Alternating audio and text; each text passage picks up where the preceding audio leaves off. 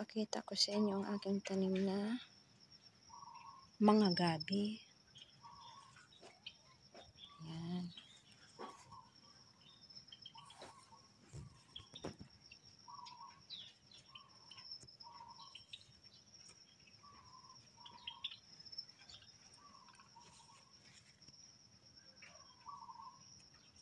Ang lalago nila pag may tanim ka, may makukuha kang igugulay. Yan guys. Dito na rin ang mga tanim kong kalamansi. Ayan. Oh.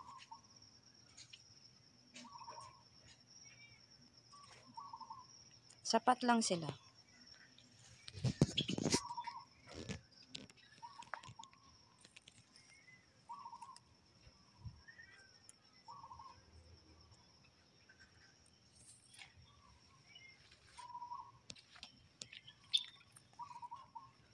Yan ang kalamansi ko. Sapat lang yan. Nakatanim. Daming bunga.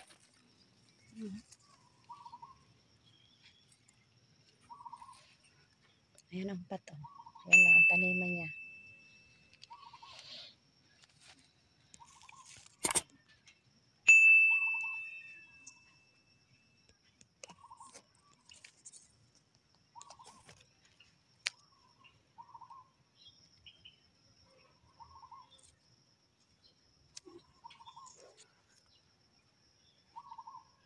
Laki ng dahon ng gabi, oh. Ayan, guys. Lulutuin ko ito, eh. Kukuha ako dito ng pangluto. Ang gawin kong Bicol Express. Karamihan ng tanim ko pa. Sapat lang.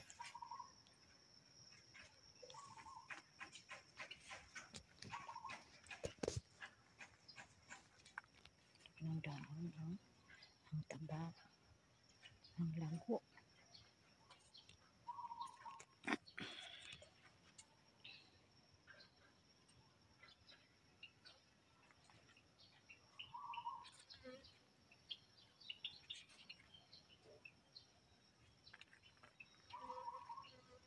ang kalamansi ko ang sipag mamunga sapat lang siya pero Madami siya bumunga. Ano? Hmm? Kita Hmm? Ano? Sipang bumunga.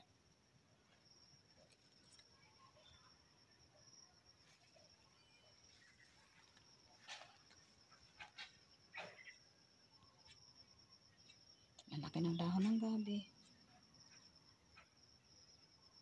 Ang lalako. Mataba na sila. Umulan kasi eh. Ang ulan talaga ang magpapaganda ng ano. Ayan oh. Meron din akong salay. Yan ang salay ko.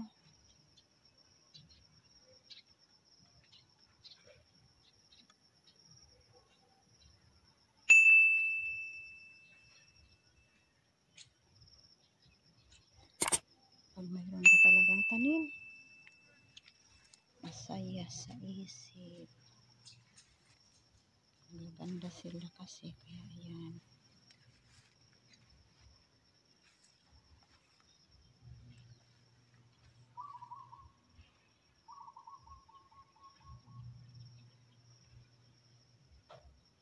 ito ay sa likod bahay ko lang ito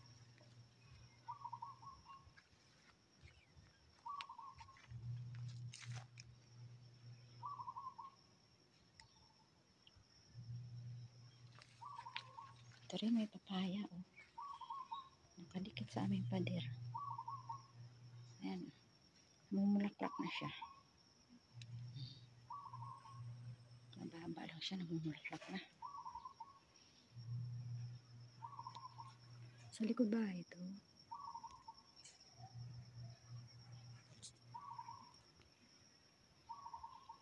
Ito may saluyot.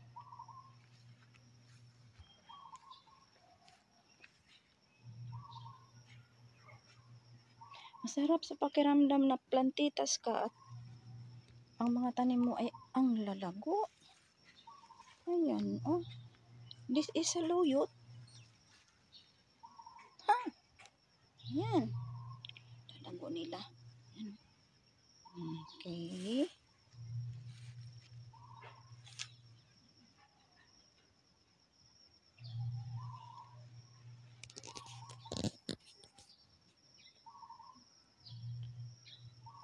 Guys, thanks for watching.